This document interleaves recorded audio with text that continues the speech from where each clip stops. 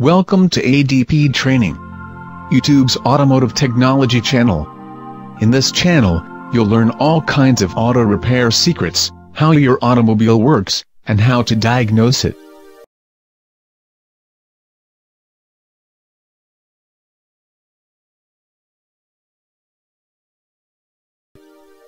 Hello everybody and welcome to another video. In today's video we are going to uh, talk about the uh, automotive CAN bus uh, voltage testing. And we're also going to explain how and how the, the, the voltage that you see at any CAN vehicle how these uh, uh, how you arrive at these voltages.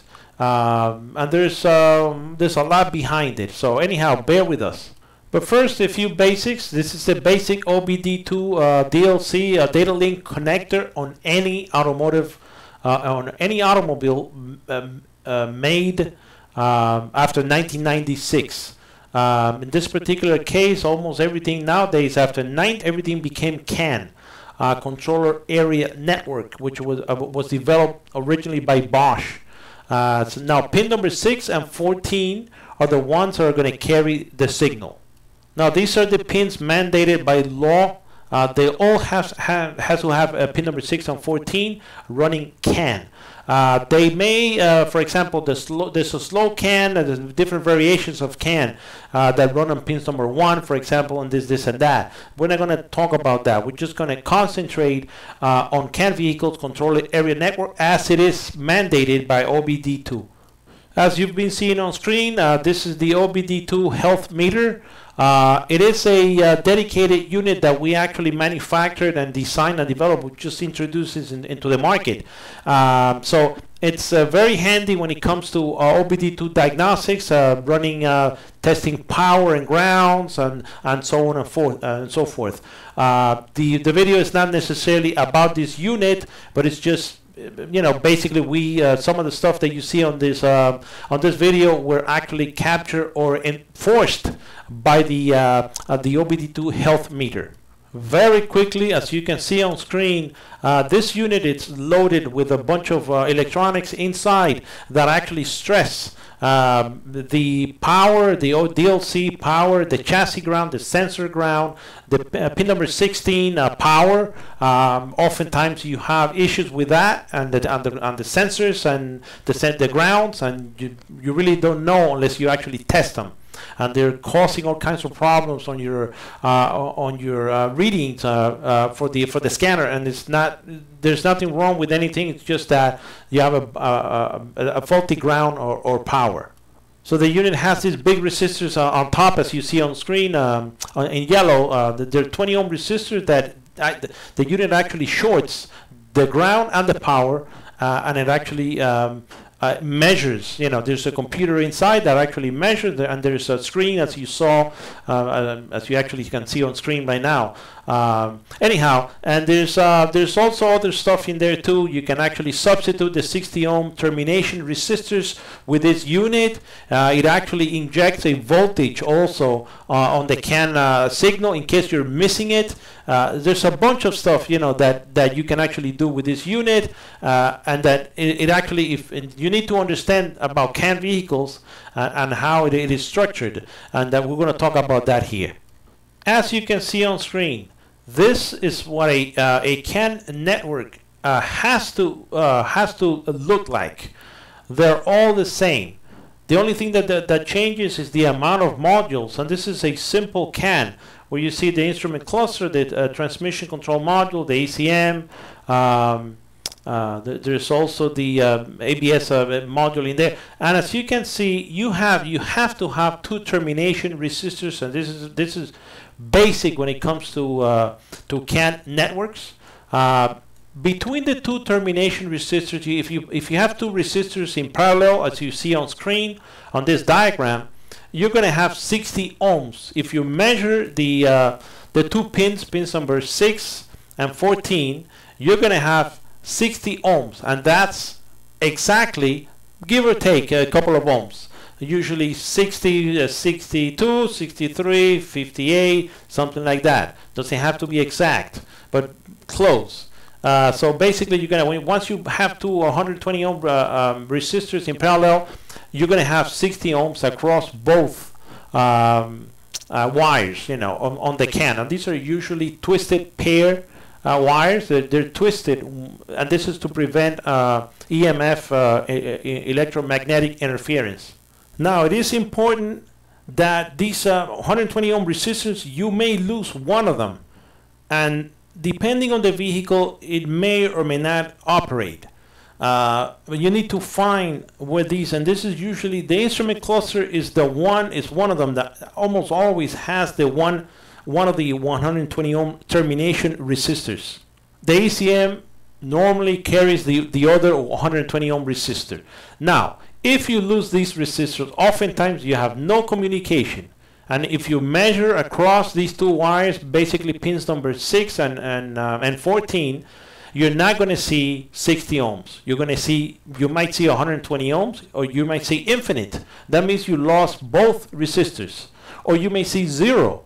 That means you're shorted. That means the uh, CAN network is shorted. Uh, the two wires are shorted. Then you're not going to have communication. In our video here, we're going to initiate communication. We're going to show you what it looks like on an oscilloscope. And this is probably the best way to do it. Now, uh, but before we go into that, basically um, uh, the unit, as you can see on this particular diagram, uh, the OBD2 connector has gives you access. Uh, this is the easiest way to give you access to these two pins, pins number 6 and 14. Okay, uh, our unit, the OBD2 DLC health meter, actually goes in there and plugs into um, power and ground on pins number uh, um, 16, which is power, uh, 4, uh, 5, and, and, that's it. That's how you, you power the unit. And of course, 6 and 14 for the CAN network. Uh, the unit then substitutes a bunch of, depending on the tests that you actually pick on your on screen, it's got the has a little screen, a uh, touch screen in, in there, and you you actually choose either the automated test and it actually runs the, the all the testing in there, uh, or you can actually uh, pick and choose uh, which test you actually want. It has a um, like an oscilloscope, but it's not an oscilloscope. It's more of a uh, uh, graphing multimeter where you can actually see what we're going to see now. We're going to see that later on in, the, in this video. Uh, you can actually see the, the, the signals uh, and you'll know right away. And the unit is also going to analyze the signal for you. This is what's different about this unit than anything else. That you you, can plug in anything you want, like an oscilloscope and this and that. And if you don't, don't know exactly what to look for, which we're going to show you here anyways, uh, but some of you may not really be into it, you know, and you still have a car with no communication. So what are you going to do? So this unit, it's automated and it, it goes into uh, a bunch of tests that you don't even know that it's doing it, and it, it's pretty much, it'll tell you, you know, if you have an issue. Now on screen, let's start by analyzing the signal that you're going to see either on the unit on the OBD2 uh, OBD2 um, DLC health meter or on an oscilloscope.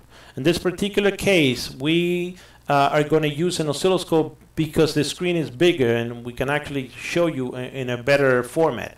Um, basically what we did, and you're going to see later on in the video, you're going to see that we actually made a virtual CAN network. Uh, and this is what we're doing right now. But anyhow, what you see right now, it's a, uh, th this is the CAN signal for both wires, okay? The yellow one is for the CAN low, and the green one is for the CAN high. Now, very carefully, let's look at the screen uh, as you see it right now on this, on this particular diagram. If you were to measure with, a, with an uh, ohm meter uh, the resistance between the two uh, wires, okay, not the resistance, I'm sorry, the, uh, the voltage, with the, uh, with the vehicle key on, engine off, basically what you would see between the two uh, CAN wires, CAN low and CAN high, pins number uh, 6 and 14, you're going to see 0 volts. Okay, this is important because everybody gets confused when they see it. They say, well, I have 0 volts, I have no, so I have no communication, 0 volts, something's wrong. No, you're, you're supposed to see 0 volts. In the uh, in the old days, back in the 70s and 80s, uh, sometimes we used to install radios, car radios, uh, which had a floating grounds. The speakers had floating grounds. There, there was no gr the ground for the speakers was not the same as the vehicle ground. And so they were, you know, finicky, you know, back then. People would not understand that. And so basically, this is what it is. Uh, a CAN system has a floating ground. So the ground has nothing to do with the uh, with the battery ground. So if you measure measure across the uh, CAN high and CAN low, pins number 6 and 14, it's going to be 0 volt. Now, uh, if, on the other hand, you measure, and as you see now, we, ch we change the diagram, uh, between ground, the actual uh, um, chassis ground, which is it would be pin, uh, pin number um, chassis ground would be pin number four. Um, if you measure between chassis ground and one of the um, and one of the wires, um, either the CAN low or the CAN high, you're going to see 2.5 volts. Okay, so now going back to the uh, and this is basically what uh, uh the CAN uh, protocol calls uh, calls for. You have to have 2.5 volts between chassis ground and uh, either CAN low or CAN high. Now, because both wires are the same voltage potential between them, you see zero. Okay. Now, um, we're going to see on screen right now. This is this is the going back to the CAN bus, signal. Uh, basically, this signal, the yellow one, is the CAN low, and the um, and the green one, the green half of it, is the CAN high. This is actually channels one and two of the scope, uh, which you actually you know, if you go into with the, with the unit that we have, the uh, OBD2 health meter, you're going to see exactly the same. Oh, so basically, you're going to see um, the CAN low and the CAN high. Uh, it's not really superimposed because they don't switch at the same level. Uh, the CAN low is going to go between 2.5 and 1.5. We're going to see later on. I'm going to explain that. And the CAN high is going to switch between 2.5 and uh, and 3.5. Between the two, uh, CAN low and CAN high, you have to have two volts. Okay. So as you see, as you can see on screen right now, the CAN high, uh, and this is basically the, what the signal says. Um, the CAN high is at 3.43 on the high side, 2.5 on the basically on the um, uh, on the resting side, and uh, one point the, the low CAN low is 1.43 uh, on the low side, and again 2.5 on the resting side. This is called uh, the dominant and recessive. Okay, recessive will be the 2.5 for both signals, which is always at 2.5. In this particular case, it's actually 2.43, but this is doesn't have to be exact, but, but very close. Okay, this is called recessive because it's always resting. If the CAN is not communicating, uh, basically you're going to have 2.5 volts. Okay, this is uh, recessive. The, the dominant is when it actually switches either low or high. In this particular case, the CAN low is going to go to 1.43 in this in this case, you know, or 2.43. Uh, I'm, I'm sorry, 3.43 on the on the CAN high, which is the green side. Between the, the, difference between both CAN low and CAN high when it's switching has to be 2 volts. Otherwise, the uh, OBD2, the, the, the CAN protocol, it's not going to work.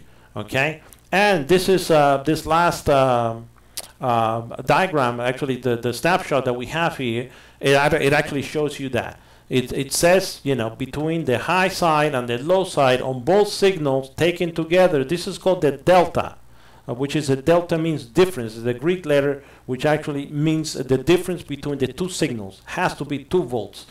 You really don't care much about taking the difference between the, the, the two sides um, because it's you're actually going to see it, you know, like you see it right now when you put a scope in, the, in there, either our unit or, or an actual oscilloscope. Uh, so basically, uh, you know, and you have to be careful too because sometimes, depending on the scope that you're using, sometimes the uh, the actual scope ground is going to ground the signal. So be careful on how you do it. Otherwise, you're going to go nuts. You know, if you really don't know what you're doing, it's not you're not going to damage anything uh, but you're not going to see anything on the on screen, and then you're going to go crazy. Anyhow, so again, remember that the voltage between uh, the the center voltage, uh, which is that's, that's called the recessive uh, CAN signal, is always going to be 2.5 volts when taken between the chassis ground and the actual signal itself, uh, or which is uh, the recessive is going to be 2.5, and the dominant is either going to be on the low side, it's going to be uh, um, uh, 1.43, in this particular case, 1.4. So basically, in this particular example, we are 2.4 on the on the on the uh, recessive, supposed to be theoretically 2.5. So basically, theoretically, 2.5 on the recessive, which is the center, as you see it here, uh, and the uh, on the dominant on the low side on the can low is going to be 1.5. The can high is going to be 3.5. Okay, this is really the theoretical behind the CAN protocol. Uh, so between the two, you have to have, as you see here, two two volts difference between the CAN low and the CAN high. Otherwise, uh, the CAN uh, chips, you know, the uh, the microprocessors inside that actually detect the signal, is they're not going to be they're not going to detect the signal. And this is how you have to look at it. Otherwise, then you, you could have, for example, a recessive of 2.5 or 2.4 more or less, but then it's not switching all the way the, on the low side. The can low is not going to, it's not switching. Maybe it'll give you um, uh, 2 volts, okay, when it switches low. And the can high is going to give you 3 volts, not 3 point, not 3.5 as you see here. Then you know you have an issue. You could have resistance in the wires, uh, which is usually the case in one of the, uh, the nodes, one of the modules uh, for whatever reason. You know, maybe the, there's a lot of humidity where the vehicle is being driven and this, this, and that, and who knows. Okay, but definitely you can't have that. You have to have between the two signals two volts difference. Otherwise, the signal is not going to get recognized, pretty much. now, as you can see on screen, we actually have a virtual network that we created uh, with these uh, gadgets that we have. They actually, th these are actually CAN uh, uh, transceivers that we have here, um, which we, we do a lot of experimentation with these guys. Now, what we did is we, we took an OBD2 connector and we rigged power and ground to it to uh, be able to power the, uh, the, the little scanner that we have that we're going to use for testing. And then we, the, the yellow uh, wires that you see, it's actually pins number 6 and 14 for the CAN network. Okay. Now, uh, some of you have the idea that if the vehicle has a, uh, and we're really going to go into this very briefly right now, if the vehicle has a gateway that uh, all of a sudden everything is lost and there's nothing you could do, that's not the case.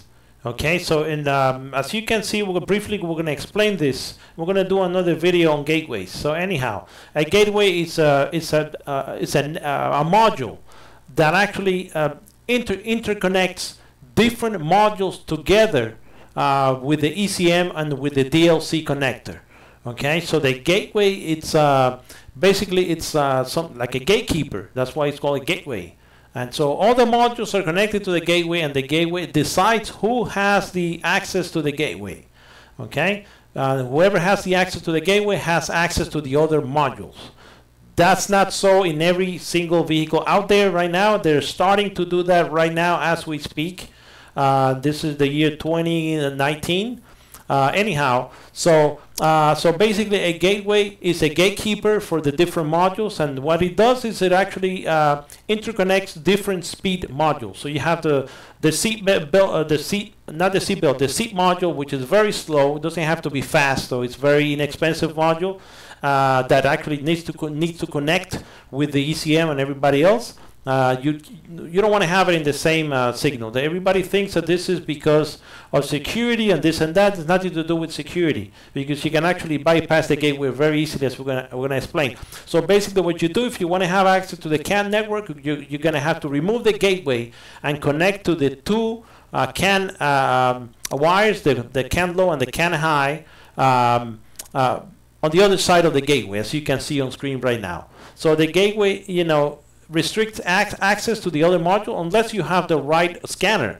Uh, but you don't, you know, like for example, on uh, Chrysler vehicles, you remove the gateway, which is right behind the radio, uh, and basically you have access to to the to the one wire, you know, the the the can uh, signal wires the CAN low and the CAN high. And once you have access to those, then you can actually access whatever module uh, you want. That's if you have the scanner that actually communicates with the gate. But if you just want to see that, you know, that the network is running properly, uh, you can act, you actually you could do that manually by going to into the into the wires. This may not be necessary uh, on on the vehicle that you're working on, but just uh, trying to explain to you that the gate once you remove the gate, put the gateway out of, of out of the, the picture, then you actually have access to the to the CAN wire, and you can actually do whatever you want. If you want to connect the scanner to it, fine. If you just want to see if you have the termination resistor, which is really what we're talking about here, uh, that's what what this video is really for. And then you, you can actually do that uh, on the other side of the gateway. If you know that you have the termination resistors fine and the signals, the signaling it's okay, uh, then basically once you know that, then your problem is it's uh, whatever problem with the specific module uh, that you're trying to communicate with, uh, not necessarily a problem with the CAN network, uh, which is again, this is the purpose of this video is to make sure that the actual physical um, uh, the, the physicality of the of the network it is there. And basically, you you're looking for the termination resistor. It has to have two, uh, regardless, you know. And uh, in this particular case, if you have a gateway, you, as you can see on screen, you have interconnections between uh, uh these guys. They, we have actually three uh, three networks uh, on screen right now. The one with the ABS is one network which has the ABS, the cluster, the TCM, and then the and, and, the other modules, and then you have the other one which has the seat module 5, 14, 11, module 10, and 4. That's another network. They're all interconnected to the gateway, and each one has to have a, a termination resistor of 120 ohm. Uh, and uh, two of them. In this particular case, for example, the the module, the network that has the ABS on it uh, you're going to have a termination resistor on the gateway itself, and you're going to have a terminate, not necessarily, but usually it does, and another termination resistor, uh, for example, module 3, uh, which is all the way at the end. It could be in any of, the, of those modules, and you have to find out which one it is if you don't have that termination. If you measure between those two and that particular network, if you measure between the two wires, the CAN low and the CAN high, you don't see 60 ohms. Remember, it's 120 ohms, but you have to have two of these, okay? And that between the both of them, it's a, it's a it's a 60 um, 60 ohm, but each one is 120 ohm resistor. So where is it? That's up to you to find out. And some most oftentimes it's not easy. Okay, and this is the issues with uh, when uh, uh, diagnosing problems with the with the uh, communication with the CAN. As you can see on screen, uh, this is live. This is actually the the scanner trying to establish communication we're not necessarily connected. The, the virtual network that we have will give you the voltage levels and will give, give you the termination resistors, but it's not, you're not going to see anything because we're not dealing with, uh, we're dealing with a CAN network. We're, we're not really connected to a car, and we really don't care. Even if you're doing uh, um, diagnostics on a regular vehicle, you're not you're not going to look at uh, see you know watch these uh, pulses in there and say, well, that pulse is for the ABS. I recognize that, but you will never be able to recognize that pulse. You need a, a network analyzer for that, and it's really you don't really need that. You don't really care what the pulses are. The, for that, you use a scanner and you try and establish communication. If you don't have, if you have a problem with the, I don't know, for example, the uh, ABS module, okay, and the ABS module, it could be the seatbelt module or the, the, or the seat module, the, the, the power, you know, the power window module, whatever. And you basically you, you have no community. You try and establish communication with the uh, with a module that that's that's not communicating, and usually what you have is you're going to have co uh, faulty codes uh, uh, on the on the other modules. Um, no communication with the uh, ABS module, for example, and everybody else is going to have no communication with the ABS module. So if you look at the TCM, the transmission, you look at the ECM, you look at the everybody else, no communication with the ABS module. So the ABS module is not communicating. So you look at the network, where what it's connected to, uh, and if you if you definitely have uh, the terminations in, in, there, the 60 ohms between the two, the CAN low and the CAN high, and you have the voltage 2.5 volts between ground and e either either one of the uh, of the CAN uh, the, the CAN low and the CAN high, then you have your physicality is there. That basically what you have to do then is find out why you don't have communication with the ABS module. It could be the ABS module itself is shot. Uh, it could be the uh, the wires are, are, one of the wires is um, cut, you know, uh, somehow broken, uh, and you have no communication or whatever, you know. Uh, but you deal with it. Then you know that you your problem is not necessarily uh, a, a, broad problem with the with a CAN. If you have no uh, no 60 ohms between the two cables, between the two wires, CAN low and CAN high, then you have to start tracking why. And in which case you're not going to have communication with a bunch of the modules. Going back into the uh, the uh, gateway that you saw before, uh, you're gonna then you have to find out, you know, how many networks do you have?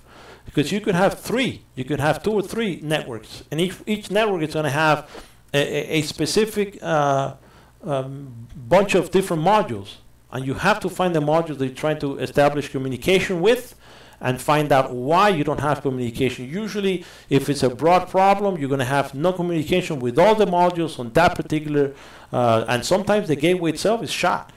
And it actually has communication with the other modules, but not with the network that, that's uh, defective. You have to find all these problems. Basically, with what you've learned in this video, uh, you can actually do that. It is possible for you to do that. It's going to require, you know, some disassembly on your end, uh, trying to uh, uh, you know, see which, you know, where, where to find the gateway and where to, where to do this, this, and that. And oftentimes, you know, the, you do have a gateway module which uh, that does not restrict communication uh, to the scanner.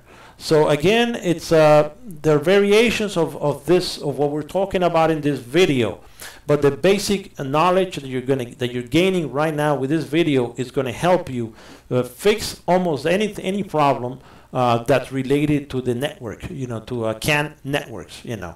Uh, and again, you know, we, uh, um, you know, if you have the unit that we have, it's actually it's handy because it it does a bunch of stuff, you know, that that usually you have to do it manually. It's not that you need our unit, but it's it's a good thing to have. Uh, and basically, that this is what we do in this video, so that you actually learn to analyze the uh, and and pinpoint the certain factors, you know, like uh, resistance between the cables and this and that, termination resistors, uh, the, whether you have a gateway or not, which, uh, how many uh, networks do you have, how many modules, what's connected to what, and so on and so forth. Anyhow, uh, we'd like to thank you for tuning into our channel, ADP Training. Uh, we suggest that you subscribe to our, ch our channel if you like it, or to our website, Automotive Diagnostics and Publishing. It's actually autodiagnosticsandpublishing.com. Uh, you can find us on uh, on, um, on uh, Facebook. You can find us uh, uh, at autodiagnosticsandpublishing.com. That's our Facebook page. Uh, or on Instagram, um, ADP Training backslash or under underscore YouTube, which is ADP Training. It's our YouTube channel. Okay, which is basically, you know, anything that's automotive on the high end side, we go into the complicated issues, you know, with uh, um, uh, with our automotive technology. This is it. Okay. So anyhow, we'd like to thank you for tuning in uh, to our channel, ADP Training, and thank you for watching. This. you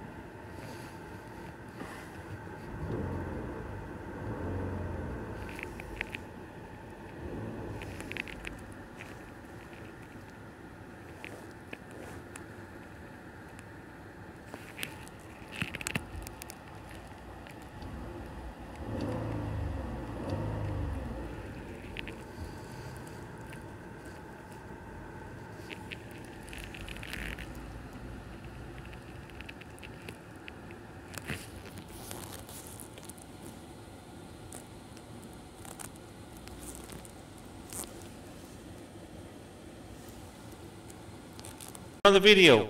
In today's video, we are going to uh, uh, talk about testing the CAN bus using the OBD2 Health Checker.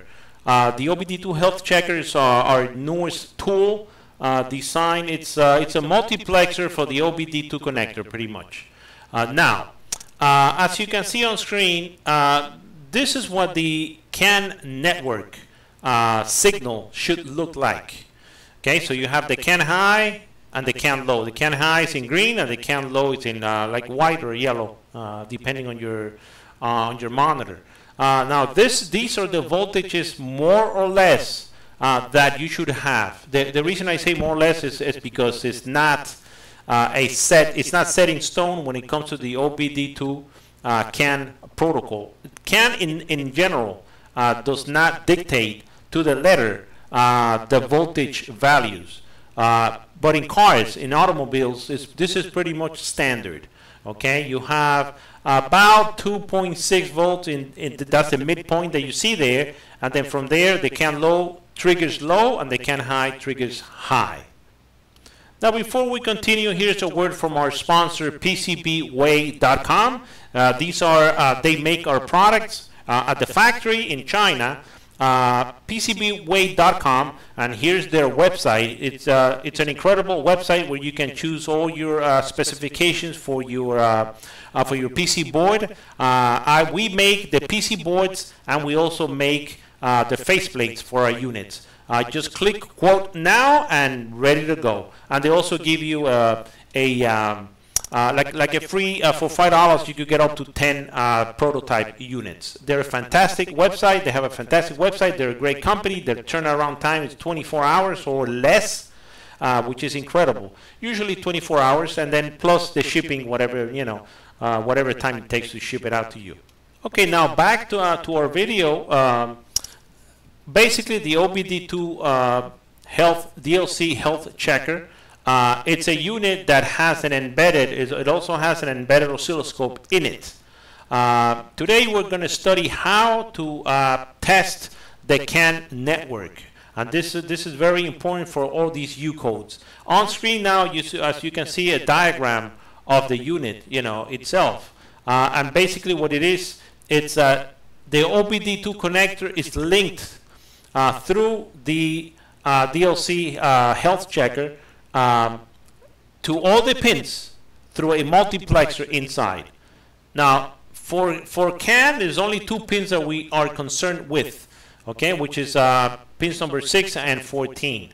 But now, uh, there's uh, other things for the OBD2 health checker that are important, and when it comes to CAN, which is power and ground testing and all, and all these things.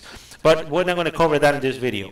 Uh, basically, what it is is that it also has a 120 ohm uh, termination resistor built in inside the unit if you want. There's a switch on the top that you use for that. Uh, so say, for example, you have no 120 ohm termination resistor, you're not going to have CAN, okay, and, and voltage uh, on the CAN. You flip that switch and it'll, it'll give you a CAN and at least you'll be able to communicate and determine that that is your problem. There's two 120, 120 ohm termination resistors which uh, it, it comes up to 60 ohms because they're in parallel with each other. Okay, so two 120 ohm resistors in parallel it equals 60 ohms. That's what CAN needs to communicate. It can it can work without one resistor, which will be make it 120 ohm termination. It'll work with that. That's why you, they put two resistors in there in case one fails. Uh, and so basically that's what that's, but our unit actually looks at pins number uh, 6 and 14. It also, um, you can actually substitute and uh, inject voltage and the resistor in there if need be. Uh, now, uh, again on screen now you can see the signal, uh, which this is this was taken with one of our um, um, uh, oscilloscopes. it wasn't taken with, but it's just for sake of explaining the voltage values in there. Okay, so basically this is what you're supposed to see. You're not going to see them together because the OBD2 health checker has a single channel multiplexer in there and there's no really no reason to, to check both of them at the same time. Basically, if you uh, the unit, you don't have to poke into the wires. Everything is you can do everything just with one button in there. And now, as you can see on screen, uh, this is, uh, and we just wanted to show you this. This is how how the OBD2 health checker is going to behave if you're not connected to the battery properly. Okay, it'll just click on and off, on and off, on and off, as you can see on screen. Uh, basically, it's letting you know that there's not sufficient voltage to run the unit. Uh, and at, at, that point in time, make sure you look at your connections to the battery because the unit has to be referenced at the battery. It's not that it takes power from the battery, which it is, but it has to be referenced more than any, anything else. It's going to com compare the voltage uh, to the battery, which is that's what it means reference. Now, going back to the functioning of this particular unit and testing uh, the DLC uh, pins number 6 and 14. Uh, as you can see, we are actually, we power the unit, it goes through a check, and you can see all, here all the, the, the relays clicking in, inside there. And basically all you have to do is just turn that knob and go into pin number 6. Go, of course, you're going to go in with your scanner. There is a Y connector that uh, comes with a unit where you can plug in your scanner together with the OBD2 uh, DLC health checker. Uh, and as you can see, we are actually uh, going into the CAN um, system. This was actually a Ford vehicle. Uh, anything after 2006 has to be CAN. So it's going to be CAN if it's 2006 or newer. Okay, and as you can see on screen, uh, the voltage we're, we're checking, this is uh, pin number 6, which uh, pin number 6 is can high. That's why you see 3.8 volts because you're switching. That's the upper side. Remember, the, the viewing, the LCD is going to give you a snapshot, you know, of the, um, of the voltage. And as you can see, uh, we are basically graphing uh, with, the, with the scanner. So we're communicating uh, back and forth. And you can actually see pin number 6. And we're also going to show you pin number 14 uh, on the oscilloscope, the built-in oscilloscope in there. Uh, remember that the scope is gonna, you can make all kinds of uh, measurements in there uh, because it gives you, if you look at the, the scope, it has texting. You have the, that text on the top that actually measures the minimum and maximum and this and that. And you'll be able to go through all your, uh, your measurements in there. And basically, this, is, I mean, this is 100%. Uh, and if you, what we're doing right now is we're expanding the time base, and you can actually see the single pulses uh, for each CAN um, uh, network. So each one of those pulses are either 0 or 1, 0, 1, 0, 1, or 0, 0, 0, whatever, you know, uh, basically. So that's, uh, that's how the, the unit communicates. It toggles between 2.6 and in this particular case, the upper side will be 3.6 more or less. Remember, it's not always the same on every car. It could be 3.8. Uh, it could be even a little higher than that, uh, depending on the vehicle that you're working on, because CAN doesn't really specify 100% the value, the voltage values. But that's more or less what you're going to see uh, right here. And so uh, that's pretty much it, you know. So you don't have to do anything. All you got to do is go in, uh, graph your, your, your pins, uh, connect with the scanner and see if you have a connection. If you don't have communication, if you don't see the signal on the scope side and you don't see anything, uh, you know, when you connect the scanner, basically you have a problem. So you, there, there are things that you could do. Uh, you can actually go uh, and switch the unit, uh, the, the switch on the top, which actually injects 120 uh, ohm resistor and voltage into the into the into the uh, network and then go from there. Uh, so it's basically, you know, um, it's a done deal. This this is a, a turnkey operation. You don't have to do anything. You don't have to poke in with a with a scope. You don't have to buy a scope. You don't have to do anything. If you have a scope, which I highly recommend, it's nice. Uh, but still, you know, you would have to go into the wire to the wires in the back and poke into the wires and this and that. Uh, the second thing that you should do when it comes to CAN uh, vehicles is you're going to have to, if it doesn't communicate, one of the modules is shorted, and then you would have to start disconnecting modules. Here on screen, you can see the a gateway in the in the uh, in the diagram. If if the module, if the if the vehicle has a gateway, and this is now common on the Durangos, the new Durangos, there is a connector that you have to uh, buy, purchase, and this is only for the Durango um, where you uh, disconnect the gateway, you connect this connector, and it actually bypasses the gateway uh, because the gateway is the one on these Durangos, and that I'm sure they're going to do it on other cars too. Let's see how that works out. Uh, whereby you know the the gateway is the one is the one that actually authorizes the modules, but it doesn't really matter.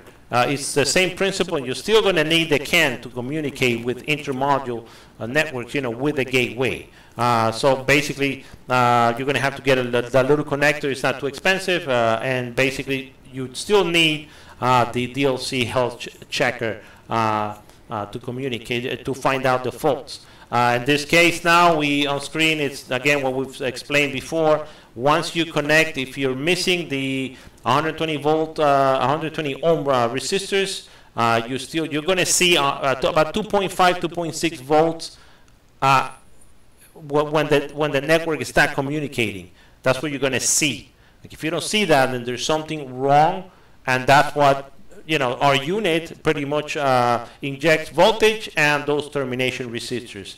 Uh, in this case, you need at least 60 ohms in there. That's usually what you need. But 120 ohm is what we inject into the, uh, um, you we actually connect that in parallel with, with, the, with the CAN network, and you need that to communicate. Okay, so it'll at least have communication, you know, uh, with the network. Again, we would like to thank you for tuning into our channel, ADP Training, and our website, autodiagnosticsandpublishing.com. Uh, see what it's all about if you want to find out more about the OBD2 Health uh, Health Checker. And uh, basically, we'd like to thank you for tuning in, as you always do. Leave comments, uh, leave us a thumbs up or thumbs down, down, whatever you whatever you you think we're worth, you know. And uh, at the end of the of the video, you're going to see an AQR code. All you got to do is scan it uh, with the PayPal app and basically you can donate anything that you want to to uh, to our channel here which is free. We don't charge for this channel. Okay so thank you for tuning in and thank you for watching.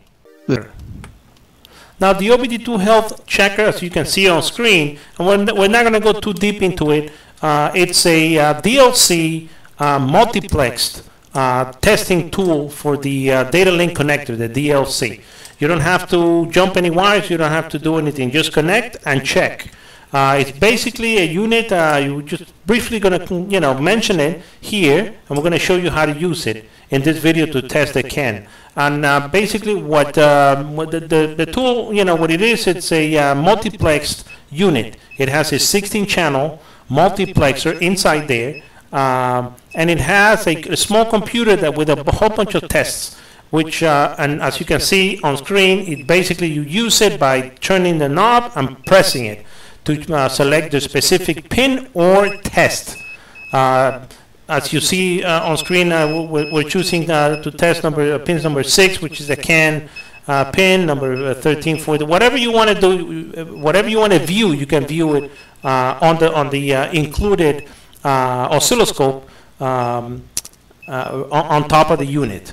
it's multiplex, so you don't have to do anything. Basically, you just choose uh, turn turn the knob and press the button and that's how you pick the uh, the pin that you want to go. Anyhow uh, before we continue we'd like to um, give a word to our sponsor PCBWay.com uh, they are our factory. They make we design the stuff ourselves and we actually get it made with them. They make it for us. Uh, PCBWay.com they have a uh, 10 unit prototype for, for $5 which is incredible Basically, as you can see on screen, you choose the, uh, the length and the width of the uh, PC board. Uh, you click all the uh, specifications that you want, the double-sided, uh, the layers, the color, uh, you name it. And they even have, um, if you look at it, they have aluminum, a selection for aluminum, which not everybody has.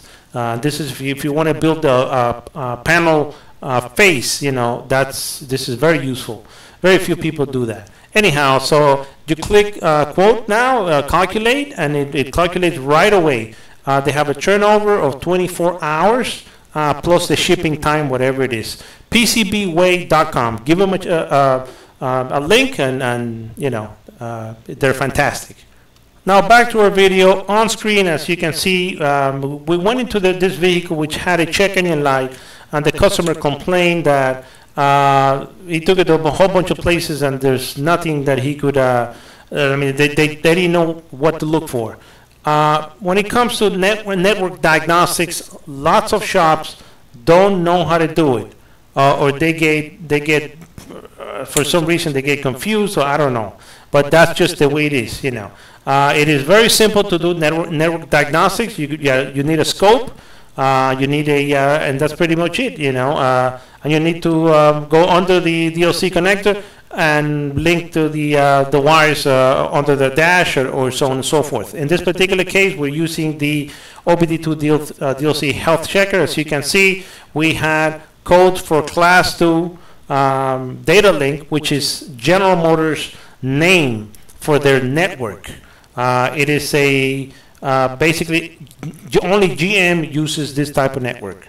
As a rule, the uh, class 2 uh, data um, system uses a single wire that toggles between ground and 7 volts, although not always. Okay, so the best thing you can do is uh, check whatever GM uh, vehicle you're working on, go and check the wiring diagram immediately and find out on which pin on the DLC the class 2 network is running and that way you'll be able to test the whole thing. On screen you can see the this particular wiring diagram and it's a it's a single wire that goes from one module to the next uh, and ground. That's that's pretty much the scheme that uh, GM uh, uses. And as you can see on screen we have now the diagram that we use, uh, that we're actually using. Uh, this is a diagram that more or less, you know, just to show you how it works. As I said before, it's a single wire uh, system uh, that goes from one module uh, to the other. Now, we start by doing our diagnostics by connecting the uh, OBD2 um, DLC health checker to the battery and it goes through its routine as you can see it actually checks out all the relays and all the um, it goes through a checkup, you know, pretty much. And uh, we pretty much uh, start by viewing uh, the different pins on the DLC. In this particular case, nothing. I got nothing from any of the pins. Uh, and basically, you know, I said, well, you know, there must be something else uh, uh, wrong with the car. Now, in this particular case, it was easy because the customer had told me before that there was an issue with starting the vehicle um, and something about the body module, something like that, and he had to jump something in the on the relay box, and so I, I said, you know, I asked him, you know, so what do you jump? Just show me what you jump. Just and basically what he was, it was jumping. Uh, somehow somebody told him that if you jump the CAN bus uh, wire to a battery, uh, it would start. I don't know why exactly the car was vehicle was starting when it when it was doing that, uh, but basically that just shocked. I, am guessing he it shocked the the CAN module that whatever module was giving the problem, which was, it was a body module, uh, and then uh, basically you know the body module was knocking down the CAN and the, the, it was grounded completely. Uh, I removed the ground, I replaced the body module, and then uh, as you can see. Um, uh, further uh, after we, we did the repair and uh, the reprogram, we had to re reprogram in the the body module. We went we went again and we uh, connected our DLC uh, checker, um, uh, and again it goes through the you know the routine you know of, power up routine and checks everything. And sure enough, we went to pin in this particular car was on pin. Sometimes it's on pin number the class two network, which is a proprietary pin. But I think on this one, it was pin number three. So basically, we started by uh, establishing communication with a vehicle. Uh, and this, we're just showing you, our, you know, well, after we, we did the repair, uh, I had, a, I knew I was already getting communication because I tried it before, you know, once I, I did the repair. And basically what you do uh, is you uh, Y connect, uh, you know, a scanner with the uh, DLC connector and connect the, the, um, uh, the, the OBD2 DLC, uh, DLC uh, health checker. And as you can see, that's our CAN. Okay, it's uh, it toggles again between uh, 0, 0 and 7 in this particular car. Uh, it doesn't have to be. Sometimes it toggles higher than that, depending on the year. but anyhow, so this is once we did the repair, you know, everything came back to normal. Um, we got rid of all, all the codes that we had before. Uh, uh, with the CAN communication, and basically, you know, it, it was 100%. You know, Again, you know, uh, this is just, you know, what this tool can do. It's a very useful tool. Uh, we went into, into uh, uh, I mean, doing this type of repair, it's a nightmare, you know, if you have to go under the, or just clamp into, because it, it takes a long, long time. Might as well just plug into the DLC connector and do all your diagnostics from there. If you have uh, a, a CAN or a network problem of any kind. Remember, this this is a GM. It could have been, if it was a little newer, it would have been uh, CAN. Uh, and again, this, this tool can do all the 16 pins. Some of these pins are proprietary, and some of them are not. You know, they're just standard. Anyhow, I would like to thank you uh, for tuning in to our channel, ADP Training, and go to our website, autodiagnosticsandpublishing.com.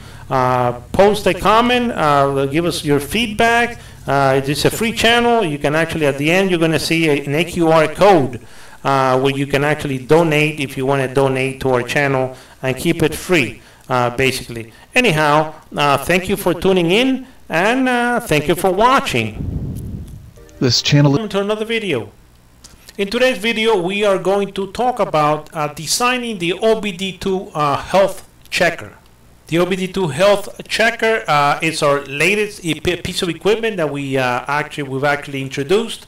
It has a built-in uh, oscilloscope and a navigation uh, LCD screen. But before we go into that, a word from our sponsor, uh, PCBWay.com. PCBWay, it's a uh, factory for PC boards. they are the line, state of the art um, factory that you can actually go um, and order your PC boards. They do have a $5 uh, uh, prototyping, which is very nice. As you can see on screen, you can actually order your PC boards. It's very easy to get a quote. Very fast, very faster than any, any other website that I've ever seen. Uh, if you look at the screen, uh, basically you can actually uh, order SMD stencils, PCB assembly, uh, flexible PCBs and advanced PC boards. Uh, you just input your the size of your board, the layers, and right away you get a quote. Uh, if uh, basically what you do once you input all your uh, basic information, and it's going to ask you a couple more things, and, and we're going to see that next. Uh, hit qu quote now, and that's it. on screen, it's the, their website, as you can see, and you can actually choose your layers, the size of the PC boards, um, whether the PC board, uh, if you want aluminum PC board, you can actually choose it on your web uh, on their website, as you can see. Uh, FR4 is the, the, you know the main uh, option that you get. Uh, you know everybody pretty much makes it F F FR4, uh, which is a regular PC board. But you also have that option to do aluminum and a couple of other options, as you can see on the side with the yellow arrows. you select the thickness of the PC board, pretty much anything you want in there.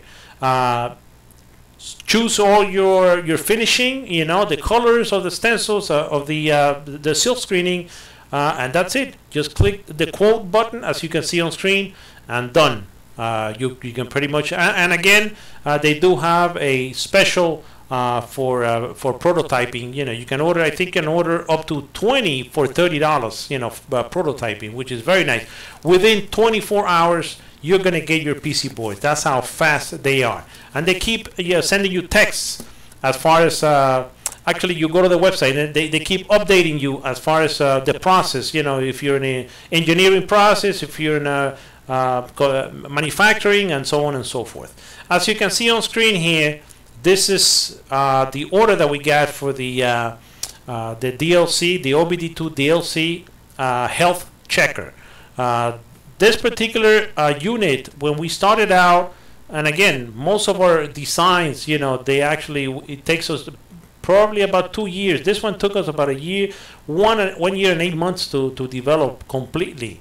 And as you can see on screen, we start out from a, uh, uh, on the computer, designing the board. Uh, before we even do that, we actually do the prototyping for the circuit.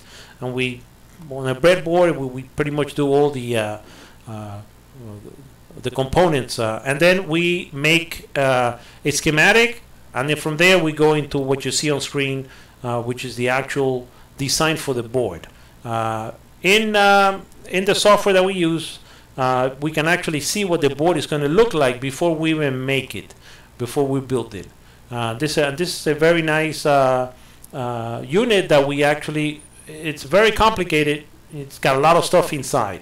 Uh, now the OBD2 Health Checker. Uh, it's exactly what it sounds like.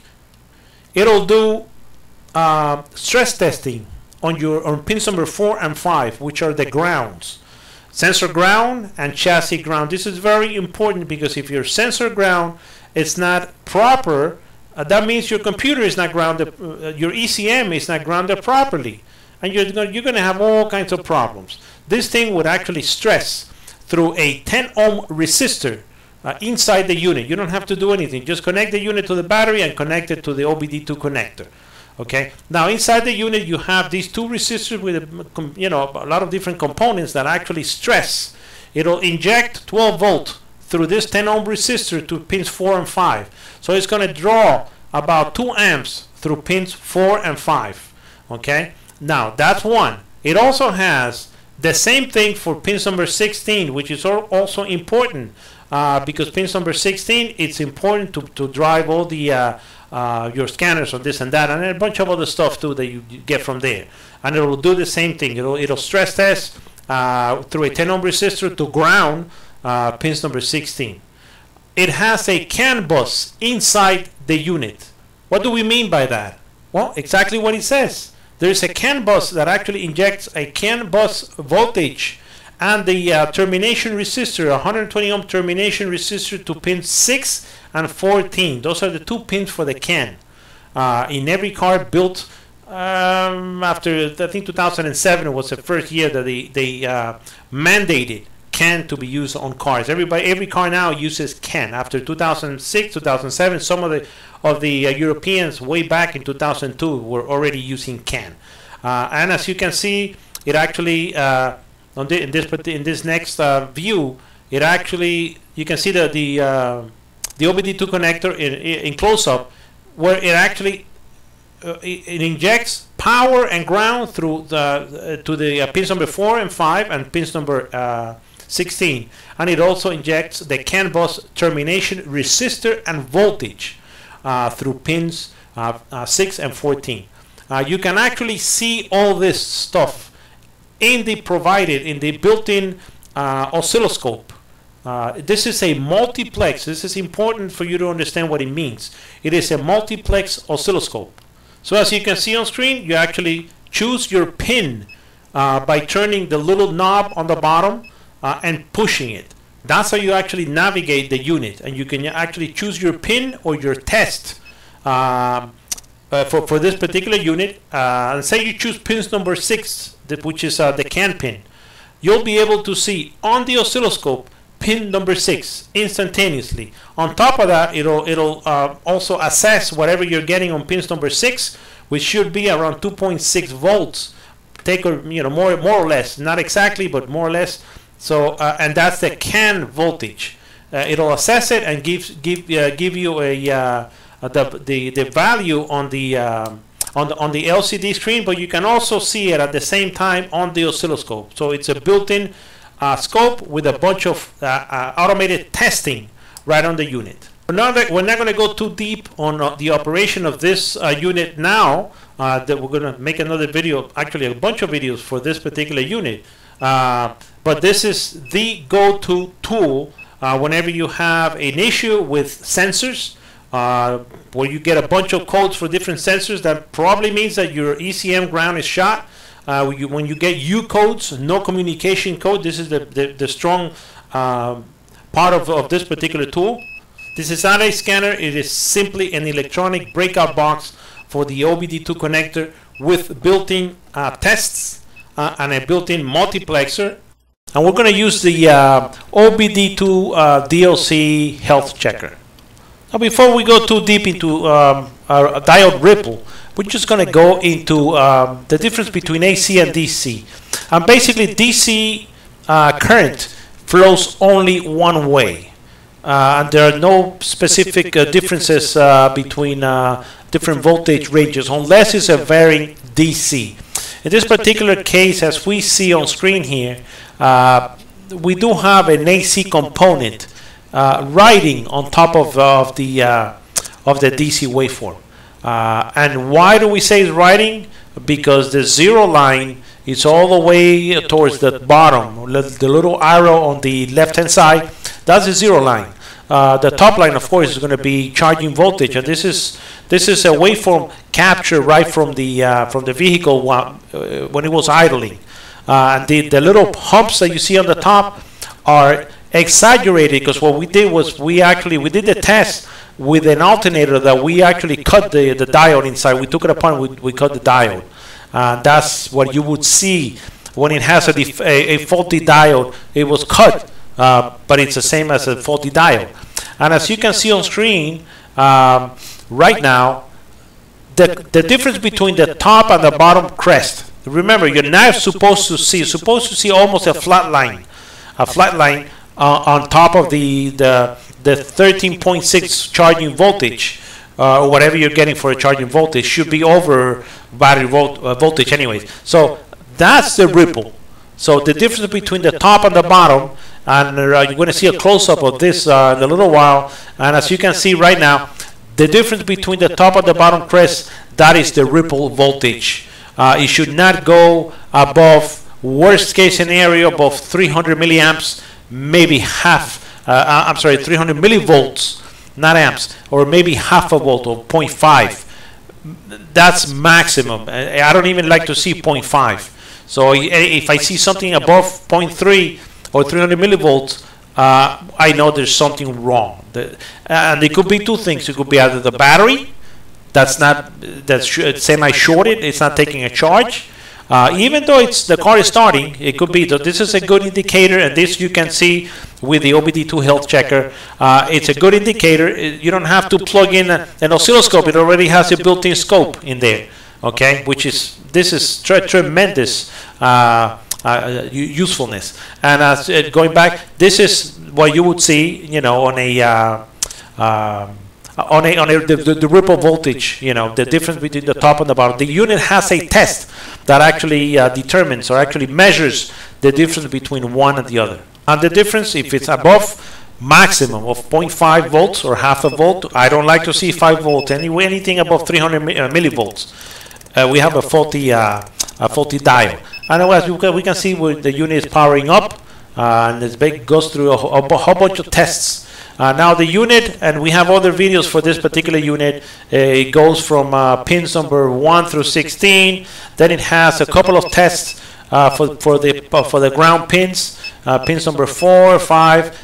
Pin number 16 has a stress test too for the for the for the for the power pin, and then it goes into to the diode ripple. And as you can see, this is the, has a multiplexer inside, and you can actually see uh, right away, you're going to see on the scope. You don't have to set anything. All you got to do is connect to, to the OBD2 uh, connector. And this is what you would see. This is the actual test. It tells you how it's going to do the test, and it'll do it'll do the test completely. You know, um, it, will give you a minimum. Actually, it'll give you the difference, minimum, maximum. It'll give you the difference between uh, the minimum and maximum. As you can see on screen, this particular case is 0.44, uh, which is not quite 0.5, uh, but it's definitely a it's, it's an open uh, diode pretty much. It's like a like a faulty diode, you know. So again, you know, it's very specific uh, the, this particular test, and uh, it, the unit goes a long way into graphing or scoping all the pins on the um, uh, on the DLC connector. You don't have to do anything. It'll it'll graph pins number 1 through 16. You don't have to do anything. You will know right away it has signal injection uh, for the CAN. Uh, for the CAN bus, it has a bunch of stuff anyhow. So we'd like to thank you for tuning into our channel, ADP Training. And of course, visit our website, autodiagnosticsandpublishing.com. We have a bunch of free stuff that we give out every month you know, like a book, you know, uh, software, you name it. Uh, and we're always putting out, you know, uh, advice and tips on how to do things. Anyhow, so uh, thank you for tuning into our channel, ADP uh, Training, and thank you for watching. This channel is for do-it-yourselfers, as well as professional auto repair technicians. We present all the content using the latest CG animation techniques, enhanced video, and how-to, tips and techniques. We encourage you to subscribe to this channel now. Once subscribed, anytime we upload a new automotive tip, secret, or technology video, you will be notified. Finally, by subscribing, you will also be part of our weekly freebies. Yes, we're constantly giving away lots of free merchandise. Automotive Diagnostics and Publishing's, Mandy Concepcion, the owner of this channel, is one of the most prolific auto technology authors on the web. At any moment in time, we may offer a free book, Kindle e-book, Android app, one of our own diagnostic equipment, or even auto repair software that runs on your PC. Subscribe now free of charge, learn lots of automotive technology secrets, and win free stuff. It doesn't get any better than that. Thanks for watching, and enjoy.